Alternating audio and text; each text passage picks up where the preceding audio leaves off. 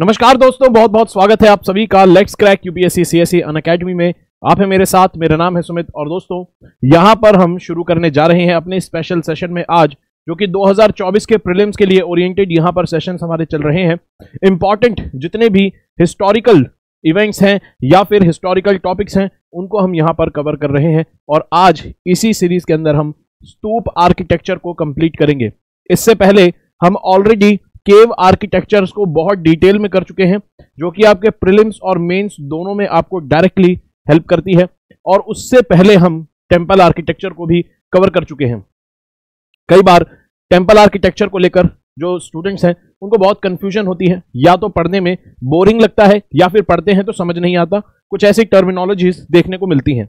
तो वो चीज़ आपकी कंफ्यूजन जो है वो सब दूर हो जाएगी। अगर आप टेंपल आर्किटेक्चर पढ़ते हैं, इस सीरीज़ में, जो हम ऑलरेडी इससे पहले दो वीडियो पहले कवर कर चुके हैं। उसके अलावा केव आर्किटेक्चर भी आप देख सकते हैं। केव आर्किटेक्चर भी बहुत डिटेल में कवर किया गया है। और आज स्तूप आर्किटेक्चर करेंगे, जो कि सबसे ज़्यादा सिंपलेस्ट और सबसे ज़्यादा छोटा टॉपिक है, ठीक है? तो बहुत सिंपल आज की क्लास रहने वाली है, बहुत छोटा टॉपिक है, बहुत सिंपल टॉपिक है, लेकिन सबसे ज़्यादा इंपॉर्टेंट टॉपिक है, चाहे प्रिलिम्स की बात करें या फिर मेंस की, कभी भी आपसे स्तूप आर्किटेक्चर पे क्वेश्चन पूछ सकता है ठीक है? तो हिस्ट्री और आर्ट एंड कल्चर दोनों को इंटरसेक्ट करता है ये टॉपिक दोनों में आपको कॉमन मिलेगा। और 2023 में ही जी हाँ ताजे ताजे पेपर में अभी पिछले साल ही प्रिलिम्स के अंदर क्वेश्चन पूछा गया है स्तूप आर्किटेक्चर के ऊपर। और दोबारा से कभी भी कभी भी पूछ सकता है मेंस में तो कई बार पूछ चुका है ठीक है? तो यहाँ पर ये बहुत सारा सिम, बहुत सिंपल क्वेश्चन है। स्तूप आर्किटेक्चर के ऊपर कहता है तो स्तूप का कॉन्सेप्ट है ये बुद्धिस्ट ओरिजिन का है। अभी हम जब ये सब सारी चीज़ें पढ़ेंगे, तब आपको ये सारी स्टेटमेंट्स अपनी आँखों के सामने इनके जवाब मिलते हुए नज़र आएँगे, ठीक है? तो इसका आंसर ओनली टू है, ठीक है? यानी यहाँ पर, ठीक है? कहता है दो स्टेटमेंट ठीक है? यहाँ पर आपको से सही देखने को मिलेगी। सेकंड एंड थर्ड पहली स्टेटमेंट गलत है, कैसे वो यहाँ पर देखेंगे? दोस्तों, आगे बढ़ने से पहले एक बहुत ज़्यादा इंपॉर्टेंट जानकारी। बहुत सारे दोस्तों को कॉम्प्रिहेंसिव कोर्स करने से पहले ये ज़रूरी लगता है कि वो पहले अपनी फाउंडेशन स्ट्रॉन्ग कर लें और उसके लिए कोई ऐसा कोर्स मिल जाए जो कि सिर्फ़ एनसीईआरटी e पढ़ाता हो और सारे बेसिक्स क्लियर करता हो। जैसे कि खास तौर पर अगर कोई ग्रेजुएशन में है दोस्त अगर कोई स्टूडेंट uh, ग्रेजुएशन में है बिल्कुल फ़र्स्ट ईयर में और वो फाउंडेशन अपनी स्ट्रॉन्ग करना चाहते हैं या फिर ग्रेजुएट भी हो चुके हैं जॉब के साथ हैं और जॉब के साथ पहले अपनी फाउंडेशन स्टैटिक पार्ट में क्लियर करना चाहते हैं तो बहुत सुटेबल और बेस्ट कोर्स है। बिल्कुल यहाँ पर थ्री ट्रिपल नाइन में आपको मिलता है। जो कि अभी 55 परसेंट डिस्काउंटेड प्राइस पर ये कोर्स आपको मिल रहा है। आपको इसमें कोड लगाना होगा एस एम के लाइव अगर ये कोर्स लेना है। इस कोर्स में सिर्फ़ और सिर्फ़ एनसीआरटी कवर की जाएँगी, छठी से लेकर बारहवीं तक की, हर सब्जेक्ट की। मेरे साथ आप यहाँ पर हिस्ट्री की एनसीआरटी करते हैं, ठीक है? और जब मेरे साथ आप हिस्ट्री की एनसीआरटी यहाँ पर आप करेंगे तो आपकी एक फाउंडेशन स्ट्रांग होगी बेसिक सारे क्लियर होंगे और उन एनसीआरटीज को हम जिस क्लास की एनसीईआरटी है, उस पर्सपेक्टिव से नहीं पढ़ते, बल्कि यूपीएससी के पर्सपेक्टिव पर्सपेक्टिव से हम उन एनसीईआरटीज को पढ़ते हैं, ठीक है? और एक फाउंडेशन के साथ साथ जो यूपीएससी के लिए रिक्वायर्ड नॉलेज है, उसके लिए आपको प्रिपेयर किया जाता है। तो जो इंटर लिंकेज है यूपीएससी और एनसीईआरटी में, वो जो गैप है, उसको यहाँ पर फिल करने पर काफ़ी ज़्यादा फोकस होता है, ठीक है? चलिए तो यहाँ पर काफ़ी ज़्यादा फोकस होता है, ठीक है? चलिए, जय हिंद दोस्तों, सभी दोस्तों को गुड इवनिंग सेशन से जुड़ेंगे। ठीक है? सीएपीएफ का पेपर टू मेरे ख्याल से आप डिस्क्रिप्टिव पेपर के बारे में यहाँ पर अगर पूछना चाह रहे हैं, ठीक है? तो फिर उसको भी देख लेंगे, उसके बारे में भी चर्चा कर लेंगे। डिस्क्रिप्टिव पेपर जिसके अंदर मेरे ख्याल से आप डिस्क्रिप्टिव पेपर की ही बात कर रहे हैं, एक बार क्लियर करेंगे, ठीक है? चलिए तो इस बैच को आप देख सकते हैं, यहाँ पर एनसीआरटी अपनी फाउंडेशन स्ट्रॉन्ग करनी है तो आपके लिए बेस्ट सुटेबल बैच आपको मिलेगा। इसके अलावा अन की ऐप पर फ्री लाइव क्लास होती है, इसमें आप मेरे साथ जुड़ सकते हैं और क्रैश कोर्स कर सकते हैं। एंशियंट हिस्ट्री, मिडिवल और मॉडर्न हिस्ट्री का 2024 के यूपीएससी प्रीलिम्स एग्ज़ाम के लिए, जिसके अंदर हम तीनों हिस्ट्री के पार्ट जो है कंप्लीट कर रहे हैं क्रैश कोर्स की फॉर्म में, और प्लस कोर्स में भी आप मेरे साथ जुड़ सकते हैं। अगर आप एनसीआरटी का बैच ज्वाइन करते हैं तो कोड लगाना होगा एस एम के लाइव, और यहाँ पर पूरी डिटेल में एनसीआरटी को हम कवर करेंगे। साथ ही में अन के साथ आप सिंगल सब्सक्रिप्शन के अंदर, सिंगल सब्सक्रिप्शन के अंदर काफ़ी सारी आपको बेनिफिट्स मिलते हैं। जैसे फॉर एग्ज़ाम्पल यहाँ पर आपको प्रिलिम्स जीएस ओरिएंटेड मटेरियल मिलता है। उसके अलावा क्रैश कोर्स का भी एक्सेस आपको मिलता है। साथ ही में सी सेट का एक्सेस भी मिलता है, जो बाकी इंस्टीट्यूट्स और बाकी जो इंस्टीट्यूट्स हैं, वहाँ पर आपको अलग से लेना पड़ता है। साथ में कभी भी क्वालिटी एनरिचमेंट प्रोग्राम आएगा वैल्यू एडिशन प्रोग्राम आएगा मेंस का तो उसके लिए भी यहाँ पर आपको सेम कोर्स से ही एक्सेस मिल जाता है। इवन आपको प्रिलिम्स और मेंस की टेस्ट सीरीज़ के भी एक्सेस मिलते हैं। साथ ही में रिपब्लिक डे ऑफ़र चल रहा है। 50 परसेंट डिस्काउंट आपको 2025 26 27 के बैचेस के ऊपर यहाँ पर देखने को मिलता है। साथ ही में आपका बैच छह महीने और एक्स्ट्रा वैलिड रहेगा। सभी टॉप एजुकेटर्स आपको यहाँ पर पढ़ाते हैं। स्पेसिफिकली प्रिलिम्स और मेंस दोनों एस्पेक्ट्स को एग्ज़ाम के कवर करता है। मेंटोरशिप भी आपको इसमें अवेलेबल है। बस आपको कोड लगाना होगा एस एम के लाइव अगर 25 26 27 तीनों में से कोई सा भी कोर्स खरीदना है 25 26 27 का, ठीक है? सेम सारे बेनिफिट्स आपको मिलते हैं टॉप एजुकेटर्स पढ़ाते हैं, और अन अकेडमी की तरफ़ से एक नया इनिशिएटिव अब आपको देखने को मिलता है, जो कि अभी तक एक गैप था, उसको फिल कर दिया गया है। जितने भी दोस्त इंग्लिश में प्योर इंग्लिश में मीडियम ऑफ़ इंस्ट्रक्शन भी इंग्लिश रहेगा। यहाँ पर अगर कोर्सेज लेना चाहते हैं अन अकेडमी उनके लिए अब यहाँ पर एक बेस्ट चॉइस लेकर आया है। सरमद मेहराज सर आपको यहाँ पर पढ़ाएँगे। सरमद महराज की सरमद महराज सर की यहाँ पर लीडरशिप में आपको देखने को मिलेगा। सारे कोर्सेज यहाँ पर सभी सब्जेक्ट्स कवर किए जाएँगे। लाइव क्लासेस होगी one to one doubt session होंगे वन ऑन वन मेंटोरशिप होगी और यहाँ पर आपको कोड लगाना होगा एस एम के लाइव तो जो भी दोस्त बाईलिंगुअल में कंफर्टेबल नहीं होते हैं इंग्लिश हिंदी में कंफर्टेबल नहीं होते हैं प्योर इंग्लिश में यहाँ पर आप कोर्सेज आपको देखने को मिलेंगे हाई क्वालिटी कोर्सेज उसके अलावा सिंगल सब्सक्रिप्शन से आप सभी ऑप्शनल को एक्सप्लोर कर सकते हैं। यानी कि एक चॉइस एक सब्सक्रिप्शन से आप सभी ऑप्शनल को एक्सप्लोर करके यही डिसाइड कर सकते हैं कौन सा ऑप्शनल आपके लिए सूटेबल है। तो जिन दोस्तों को कंफ्यूजन है कभी ऑप्शनल में, उनके लिए बेस्ट यहाँ पर एग्जांपल है कि एक सब्सक्रिप्शन से कई ऑप्शनल को एक्सप्लोर कर सकते हैं। बस आपको कोड लगाना होगा एस एम के लाइव ठीक है? चलिए। तो अब यहाँ पे देखते हैं स्तूप आर्किटेक्चर को यहाँ पर स्टडी करते हैं, ठीक है? स्तूप आर्किटेक्चर को यहाँ पर स्टडी करते हैं। और उसमें सबसे पहले यहाँ पर देखते हैं कि आखिर स्तूप का मतलब क्या होता है। स्तूप का मतलब क्या है? स्तूप दरअसल आपको वैदिक पीरियड से, ठीक है? ऋग्वेद में भी आपको स्तूप का मेंशन मिलता है। स्तूप का मतलब होता है ज़मीन से उभार उठी हुई कोई चीज़, इस तरह की जैसे अंडाकार शेप में कोई चीज़ है, जिसके अंदर यहाँ पर बरियल रिमेन्स यानी कि किसी मृत व्यक्ति के शरीर के अवशेष रखे जाते थे और स्तूप जैसी यानी कि ज़मीन से उभरी हुई किसी आकृति में रखे जाते थे और इसका ज़िक्र हमें ऋग्वैदिक जमाने से देखने को मिलता है। तो पहली स्टेटमेंट जो आपने पढ़ी थी 2023 के प्रीलिम्स के क्वेश्चन की, जो स्तूप है, वो बुद्धिस्ट ओरिजिन के नहीं है। बुद्ध लोगों ने, बुद्धिस्ट धर्म को फॉलो करने वाले लोगों ने स्तूप भारी मात्रा में बनाए और स्तूप जो था, इस चीज़ का प्रतीक था कि गौतम बुद्ध के अवशेष उसमें रखे गए हैं, ठीक है? तो बुद्धिज्म में धार्मिक आस्था का केंद्र बना स्तूप लेकिन वो बुद्धिस्ट ओरिजिन का नहीं है। वो आपको ऋग्वेद के जमाने से देखने को मिलता है। तो सही इंफॉर्मेशन आपको यहाँ पर मिलती है। और क्वेश्चन की जो 2023 का क्वेश्चन था, उसकी पहली स्टेटमेंट गलत हो जाती है। ठीक है? तो वैदिक ओरिजिन के आपको स्तूप देखने को मिलेंगे। आखिर होते क्या थे? इसके अंदर जो भी मृत व्यक्ति होते थे, उनके शरीर के अवशेष यहाँ पर रखे जाते थे। उसके अलावा बुद्धिस्ट स्तूप जो बनाए गए, राजा अशोका के जमाने में अपनी पीक पर पहुँचते हुए आपको स्तूप आर्किटेक्चर नज़र आता है और लगभग चौरासी हज़ार स्तूप अकेले राजा अशोका के साम्राज्य के जमाने में बनाए गए। तो आप देख सकते हैं, स्तूप आर्किटेक्चर बुद्धिज्म के जमाने में अपने पीक पर पहुँचा था और राजा अशोका ही नहीं। उनके बाद बहुत सारे बहुत सारे स्तूप और भी बनाए गए अलग अलग फेजेस में, गुप्ता काल में पोस्ट मॉडर्न फ़ेज़ में अलग अलग जमाने में बनाए गए, लेकिन बहुत सारे स्तूप आज हमें नहीं दिखते हैं। बहुत सारे स्तूप जो हैं, वो ज़मीन में दुब दब गए, छुप गए पेड़ पौधे उनके ऊपर उग गए और बहुत सारे स्तूप जो हैं, वो नष्ट कर दिए गए समय समय पर, ठीक है? इसके अलावा just after the death of Buddha Gautam Buddha की मृत्यु के बाद नौ स्तूप यहाँ पर बनाए गए थे, जिनमें उनके अवशेष आपको देखने को मिलते हैं। और ये नौ स्तूप आपको कहाँ मिलेंगे? राजगीर में, वैशाली में कपिला वस्तु में, अल्लकप्पा में, रामग्राम में, वेठलपेदा में पावा में और कुशीनगर और पिपल लिवा में आपको देखने को मिलेंगे। नौ स्तूप देखने को मिलते हैं।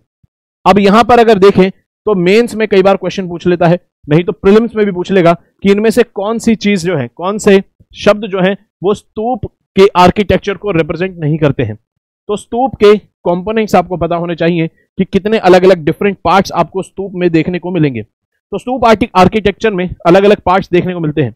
जैसे सबसे इंपॉर्टेंट स्तूप का पहचान जो है, वो ये अंडाकार शेप ठीक है? तो स्तूप की सबसे इंपॉर्टेंट जो पहचान है, वो है स्तूप का अंडाकार शेप और यहाँ पर इसे कहते हैं अंडा, ठीक है? इसे सिंपली क्या कहते हैं? अंडा, ठीक है? इसे सिंपली अंडा कहा जाता है। यहाँ पर आपको और क्लियर नज़र आएगा। इसके अलावा स्तूप के ऊपर आपको इस तरह की कुछ आकृति दिखेगी। यहाँ से एक टू डायमेंशनल में दिख रही है और यहाँ से थ्री डायमेंशन में देखेंगे। तो इस तरह से आपको एक बॉक्स दिखेगा, जालीदार, ठीक है? इसको कहा जाता है हर्मिका। इस बॉक्स जालीदार बॉक्स को कहा जाता है हर्मिका। तो ये हर्मिका है। इस हर्मिका के अंदर यहाँ पर एक छड़ी होगी जिसको कहा जाता है यस्ती, ठीक है? तो ये यहाँ पर यस्ती दिख गई और इस पर छत्र जैसे कुछ लगे होते हैं तो उसे छत्री कहा जाता है, ठीक है? तो अंडा, हर्मिका, ये छड़ी जो है, ये है यस्ती और ये है छत्री, ठीक है? इसके अलावा, ठीक है? इसके अलावा आपको यहाँ पर देखने को मिलेगा, इसे कहा जाता है जो रेलिंग है, इसे कहा जाता है मेढ़ी, ठीक है? ये जो रेलिंग है, इसे कहा जाता है मेढ़ी और ये वुडन के आर्किटेक्चर आपको दिखेगा, वुडन आर्किटेक्चर जिसको कहा जाता है वेदिका, ठीक है? इसके अलावा जो दरवाजे होते हैं, एंट्री गेट्स, उनको कहा जाता है तोरण, उनको तोरण कहा जाता है, ठीक है? तो यहाँ पर तोरण आपको दिख रहे हैं एंट्री गेट और ये एंट्री गेट आपको इस तरह से नज़र आते हैं, ठीक है? चलिए। इसके अलावा अगर यहाँ पर देखें तो स्तूप के चारों तरफ़ प्रक्रिमा परिक्रमा करने का जगह भी आपको दिखेगी, यानी कि इसे कहते हैं प्रदक्षिणा पाथ। जैसे मंदिरों में होता है, मंदिरों में गर्भगृह के चारों तरफ़ घूमने की, परिक्रमा करने की जगह आपको मिलती है, सेम वैसा आपको स्तूप आर्किटेक्चर में भी जगह देखने को मिलेगी, परिक्रमा करने के लिए, इसे कहते हैं प्रदक्षिणा पाथ ठीक है? चलिए, अब अगर यहाँ पर देखें, स्तूप के फीचर क्या है? कहता है जो स्तूप का कोर है, यानी कि अंदर का जो कोर पार्ट है, अंडा के अंदर का, ये किससे बना होता है? अनबर्ंट ब्रिक से, यानी कि ये वो ईंटें होती हैं जो पूरी तरह से आग में नहीं पकाई हुई होती हैं, ठीक है? उसके अलावा जो आउटर सरफेस है, ये जो आउटर सरफेस है, ठीक है आउटर सरफेस, ये आपको देखने को मिलेगा किससे बना होता है? ये जली हुई ईंटों से, यानी कि ये सॉलिड पार्ट होता है और एक तरह से मज़बूत पार्ट होता है। जली हुई जो ईंटें होती हैं, वो ड्यूरेबल होती हैं, लंबे समय तक टिकती है। तो कोई भी आर्किटेक्चर अगर जली हुई ईंटों से बना हुआ है तो वो लंबे समय तक मौसम की मार झेल सकता है। उसके अलावा, इन अंडा जो, ये जो अंडा है और आउटर जो सरफेस है, अगर ये जली हुई ईंटों से बना हुआ है तो इसके ऊपर बाद में प्लास्टर भी किया जाता है, ठीक है? तो इसके ऊपर थिक लेयर ऑफ़ प्लास्टर मिलेगा, जो कि इसको और ज़्यादा ड्यूरेबिलिटी देती है। ठीक है? उसके अलावा मेढ़ी और तोरण पर, ठीक है? मेढ़ी और तोरण पर, यानी कि गेट पर, आपको स्कल्पचर्स मूर्तियाँ नज़र आती हैं सजावट के लिए डेकोरेशन के लिए। और ये आपको देखने को मिलेंगे किस तरह के? लकड़ी के स्ट्रक्चर देखने को मिलेंगे। ये जो हमने आर्किटेक्चर पढ़ा स्तूप का, ये सभी स्तूप का जो आर्किटेक्चर है, अपने पीक पर पहुँचता है मौर्यन काल के अंदर।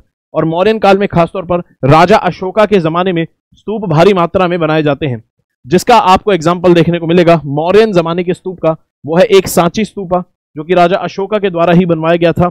और एक आपको मिलेगा पिपरवा स्तूप, जो कि ओल्डेस्ट स्तूप आपको देखने को मिलेगा। तो यहाँ पर फ़ोटो देख सकते हैं। यह है सांची स्तूप और यह है पिपरवा स्तूप, जो कि आपको देखने को मिलता है। ठीक है? पिपरवा स्तूप उत्तर प्रदेश में आपको देखने को मिलता है, सांची स्तूप सांची मध्य प्रदेश में आपको देखने को मिलता है, ठीक है? और इसमें आप आप यहाँ पर फीचर्स देख सकते हैं, ठीक है? यहाँ पर आपको हर्मिका दिखती है, यस्ती, छत्र, तोरण, अंड, प्रदक्षिणा, पाथ आपको यहाँ पर देखने को मिलता है, ठीक है? उसके अलावा मेढ़ी आपको यहाँ पर देखने को मिलती है और साथ में वेदिका भी देखने को मिलती है, ठीक है? चलिए। अब अगर यहाँ पर बात करें कि जो स्कल्पचर्स इस्तेमाल होते थे सजावट के लिए, बुद्धिस्ट स्तूप के अंदर वो स्कल्पचर्स आखिर कौन से होते थे? कौन सी मूर्तियाँ होती थी? किसी देवी देवता की होती थी या कौन सी और मूर्तियाँ होती थी? तो डेकोरेशन के लिए तोरण और मेढी पर आपको मूर्तियाँ जो मिलेंगी, वो यक्ष और यक्षी, यक्ष या फिर यक्षिनी या फिर यक्षी की आपको मूर्तियाँ देखने को मिलती है। यह यक्षिनी यानी कि यक्षी की मूर्ति और इसके अलावा यहाँ पर आपको यक्ष की मूर्ति देखने को मिलती है, ठीक है? ये जो मूर्तियाँ हैं, इनको पूजा जाता है, ठीक है? एक तरह से, एक टाइप से देवी देवता के रूप में पूजा जाता है और ये जैनिज्म, हिंदुइज्म और बुद्धिज्म। ये जो देवी देवता है, यक्ष और यक्षी, ये आपको जैनिज्म, बुद्धिज्म और हिंदुइज्म तीनों में आपको कॉमन नज़र आते हैं। तो हमने अभी जो पढ़ा है, स्तूप आर्किटेक्चर ये पढ़ा है मौर्यन काल का। आपको क्या करना है एग्ज़ाम पॉइंट ऑफ़ व्यू से इस तरह से कैटेगराइज करके लिखना है कि स्तूप आर्किटेक्चर पहले आपको पता चल गया ओरिजिन कौन सा है। उसके बाद आपको मौर्यन जमाने का आर्किटेक्चर पढ़ना है। उसके बाद आपको पोस्ट मौर्यन जमाने का पढ़ना है और फिर उसके बाद आपको गुप्ता काल का और अगर कोई पोस्ट गुप्ता काल का अगर है तो उसको भी यहाँ पर देख लेंगे। तो हिस्ट्री में अलग अलग समय पे स्तूप कैसे बन रहे थे, वो आपको देखने हैं और साथ में उनके एग्ज़ाम्पल आपको एक दो याद करने हैं। बहुत ज़्यादा फ़र्क नहीं है स्तूप आर्किटेक्चर में, जो एक बार मौर्यन काल में शुरू हुए थे, लगभग वैसे ही आपको आगे भी देखने को मिलते हैं। तो मौर्यन काल का एक और स्तूप जो है, जो 1998 में डिस्कवर किया गया, बिहार के अंदर, ठीक है? तो बिहार के पटना सिटी से 110 किलोमीटर दूर केसरिया में एक स्तूप मिला, जो कि बहुत लंबे समय तक लगभग हो चुका था। पेड़ पौधे इसके ऊपर उग चुके थे और एक पहाड़ की तरह नज़र आता था। लेकिन इसको उन्नीस सौ अट्ठानवे में इसको यहाँ पर आर्कियोलॉजिस्ट ने खोजा और ये एक बहुत बड़ा स्तूप है और दुनिया का सबसे ऊँचे सबसे बड़े स्तूपों में इसकी गिनती यहाँ पर होती है। आप देख सकते हैं, यहाँ पर एक छोटा सा मंदिर बना हुआ है और लोग भी कितने छोटे स्तूप के आगे नज़र आ रहे हैं। हो सकता है ये स्तूप डैमेज हो गया और इससे भी ज़्यादा ऊँची इसकी हो सकता है हाइट हो। जो ये स्ट्रक्चर आपको डैमेज दिख रहा है, हो सकता है ये और भी विशाल यहाँ पर हो। तो ये जो स्तूप है, बिहार के केसरिया में जो डिस्कवर हुआ, बताया जाता है कि ये मौर्यन जमाने का स्तूप है, ठीक है? तो केसरिया में भी आपको स्तूप मिलेगा, मौर्यन जमाने का। और हो सकता है ऐसे बहुत सारे स्तूप हैं जो अभी तक डिस्कवर भी नहीं हुए हैं और हज़ारों सालों से वो हो सकता है ज़मीन में, पेड़ पौधों में, मिट्टी के टीलों में दफन हो चुके हों। क्योंकि चौरासी हज़ार स्तूप एक जमाने में बनाए गए थे तो चौरासी हज़ार एक बहुत बड़ा आंकड़ा होता है, ठीक है? चलिए। उसके अलावा पोस्ट मॉरियन फ़ेज़ के स्तूप, पोस्ट मॉरियन फ़ेज़ कौन सा जमाना है? ये वो जमाना है जब मौर्यन साम्राज्य का अंत होता है। एक बीसी में आखिरी मौर्यन शासक बृहद्रथ की हत्या कर दी जाती है और फिर जब तक गुप्ता साम्राज्य नहीं आता है। 300 एडी में गुप्ता साम्राज्य की शुरुआत होती है, लगभग 300 एडी में। अगर प्रिसाइसली बोले तो 275 एडी में गुप्ता साम्राज्य की शुरुआत होती है 275 एडी में। ये जो जमाना है मौर्यन काल के खत्म होने का और गुप्ता काल के शुरू होने का बीच का जमाना, इसको कहते हैं post Mauryan phase post Mauryan phase और यहाँ से गुप्ता साम्राज्य शुरू हो जाएगा, लगभग साढ़े पाँच सौ एडी तक गुप्ता साम्राज्य चलेगा। फिर देखेंगे गुप्ता साम्राज्य के जमाने में कौन कौन से स्तूप बने थे इंपॉर्टेंट उनके एग्ज़ाम्पल याद करेंगे। पोस्ट मॉडर्न फ़ेज़ में कहता है कि यहाँ पर स्तूप जो है, बड़े हो गए और और ज़्यादा सजीले और ज़्यादा उन पर डेकोरेशन का काम होने लगा। स्टोन जो है, वो यहाँ पर इस्तेमाल होने लगा ज़्यादातर लकड़ी और ईंटों की जगह। स्टोन का पत्थरों का इस्तेमाल होने लगा। और यहाँ पर जो तोरण थे, तोरण के ऊपर आपको हेलेनिस्टिक इन्फ्लुएंस देखने को मिलेगा। हेलेनिस्टिक इन्फ्लुएंस मतलब हेलेनिस्टिक इन्फ्लुएंस का मतलब है ग्रीक आर्किटेक्चर का या ग्रीक आर्ट का Greek Greek art and culture का इन्फ्लुएंस आपको हेलेनिस्टिक फीचर के रूप में देखने को मिलता है। तो जहाँ पर भी ये शब्द इस्तेमाल हो जाए, हेलेनिस्टिक फीचर। हेलेनिस्टिक फीचर का मतलब होता है ग्रीक आर्ट एंड कल्चर का इन्फ्लुएंस। ठीक है?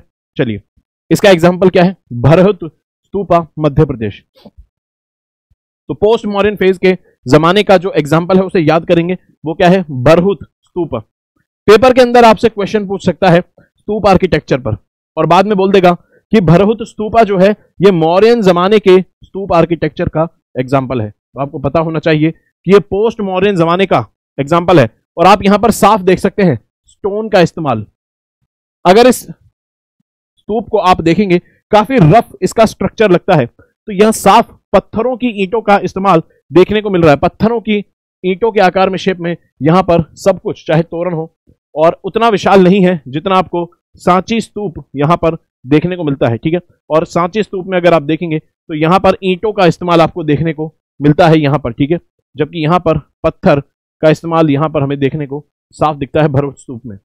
इसके अलावा एक और स्तूप आपको मिलेगा, ठीक है? जो पेपर में कभी कभी पूछ सकता है, लेकिन हमारी जो आर्ट एंड कल्चर की बुक्स वगैरह हैं, उनमें इसका ज़िक्र आपको नहीं मिलेगा, ठीक है? ये जो स्तूप है, ये है गुलदरा का स्तूप। और ये भी पोस्ट मॉरियन जमाने का एक स्तूप है, जो कि आपको कहाँ पर मिलता है? काबुल से लगभग 22 किलोमीटर दूर गुलदरा में, अफ़गानिस्तान में। तो अफ़गानिस्तान से लेकर मध्य प्रदेश, उत्तर प्रदेश, इसके अलावा साउथ इंडिया में, आंध्र प्रदेश तक आपको भारत के अंदर सब जगह बुद्धिस्ट स्तूप बनते नज़र आएँगे और अभी हम देखेंगे भारत के बाहर भी, धरती पर, विदेशों में भी स्तूप जो है बनते हैं। तो यहाँ पर काबुल में आपको गुलदरा स्तूप देखने को मिलता है। ये इस तरह से आपको देखने को मिलता है गुलदरा स्तूप, जो कि एक सॉलिड मास का बना है, यानी कि अंदर से खोखला नहीं है, पूरा एक सॉलिड स्ट्रक्चर है, ठीक है? और ये काफ़ी बड़ा स्तूप है। और ये बताया जाता है पोस्ट मॉडर्न फ़ेज़ में राजा कनिष्क के जमाने में यहाँ पर इसको बनाया गया था, क्योंकि यहाँ पर सिक्के मिले हैं सोने के और वो सिक्के जो है, राजा कनिष्क के जो पिताजी हैं, ठीक है, उनके पर आधारित हैं, ठीक है? तो यहाँ पर बीमा कटफिसिस जो राजा कनिष्क के पिताजी थे, उनके ऊपर आधारित सिक्के यहाँ पर मिले हैं। तो ये अंदाज़ा लगाया गया कि ये पोस्ट मॉडर्न फ़ेज़ का आपको देखने को मिलता है कि ये स्तूप है, ठीक है? तो पोस्ट मॉडर्न फ़ेज़ के स्तूप में दो एग्ज़ाम्पल याद रखेंगे। एक गुलदरा और एक यहाँ पर सबसे फ़ेमस भरहुत स्तूप, ठीक है? चलिए। अब अगर यहाँ पर बात करें पोस्ट मॉडर्न फ़ेज़ के बाद हम किसको पढ़ेंगे? ज़ाहिर सी बात है पोस्ट मॉडर्न के बाद हम गुप्ता साम्राज्य के जमाने के स्तूप आर्किटेक्चर को पढ़ेंगे। और गुप्ता जमाने का स्तूप आर्किटेक्चर में दो एग्ज़ाम्पल आपको याद रखने हैं। एक है धामेक स्तूप, ठीक है? तो धामेक स्तूप भी अच्छा खासा बड़ा है। ये बिल्कुल ऐसा है जैसे उल्टी, उल्टा बेल रखी हो कोई, जैसे घंटा होता है उसे उल्टा रखा हो, इस तरह से इन्वर्टेड बेल शेप में आपको देखने को मिलता है। इसके अलावा एक और स्तूप है, गुप्ता जमाने का फ़ेमस वो है चौखंडी स्तूप, ठीक है? तो चौखंडी स्तूप को याद रखेंगे। गुप्ता जमाने का स्तूप है, ठीक है? ये आपको सारनाथ में देखने को मिलता है वाराणसी के पास, ठीक है? तो यहाँ पर धामेक स्तूप जो है, सारनाथ में, वाराणसी में, और चौखंडी स्तूप आपको देखने को मिलता है, ये भी आपको वाराणसी के पास देखने को मिलता है, गुप्ता जमाने का। और गुप्ता जमाने में जो स्तूप आर्किटेक्चर है, उसमें थोड़ी गिरावट देखने को मिलती है, ठीक है? इसमें थोड़ी गिरावट देखने को मिलती है। और ये जो चौखंडी स्तूप है, ये फ़ेमस इसलिए है क्योंकि इसके ऊपर ये जो ऑक्टैगनल शेप ठीक है? ये जो ये जो ऑक्टैगनल शेप ठीक है? अष्टभुज आकृति में ये जो बिल्डिंग बनी है, इस स्तूप के ऊपर ये दरअसल बनाई गई थी हुमायूं जब यहाँ पर विज़िट करते हैं, ठीक है? हुमायूं की विज़िट को कोमेमोरेट करने के लिए, उसकी, उनकी विज़िट को मार्क करने के लिए ये ऑक्टैगनल बिल्डिंग बनाई गई थी चौखंडी स्तूप पर, जो कि गुप्ता जमाने का स्तूप है। तो मौर्यन जमाने का सांची स्तूप याद रखेंगे? ठीक है?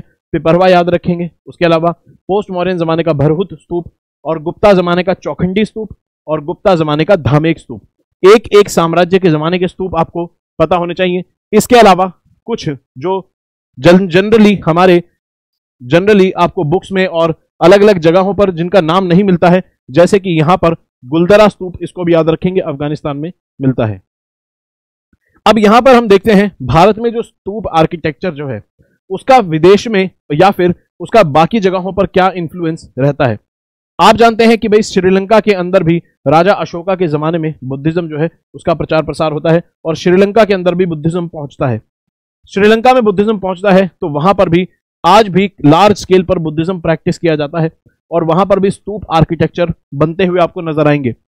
और यहाँ पर एक जो स्तूप है, यहाँ पर आपको स्तूप देखने को मिलेगा। दुनिया का सबसे टॉलेस्ट स्तूप स्तूप आपको 400 फीट का हाइट में 400 फीट का स्तूप आपको जो देखने को मिलता है, ये हमें श्रीलंका में देखने को मिलता है, जिसका नाम है जेट वनराम स्तूप। जेट वनराम स्तूप आपको बुद्धिस्ट स्तूप है, जो कि श्रीलंका में देखने को मिलता है, जेट वनराम मोनिस्ट्री के अंदर। ये यूनेस्को की वर्ल्ड हेरिटेज साइट है, और ये दुनिया का तीसरा सबसे ऊँचा स्ट्रक्चर है after the pyramid of Giza and the pyramid of Khafre, ठीक है? Khafre.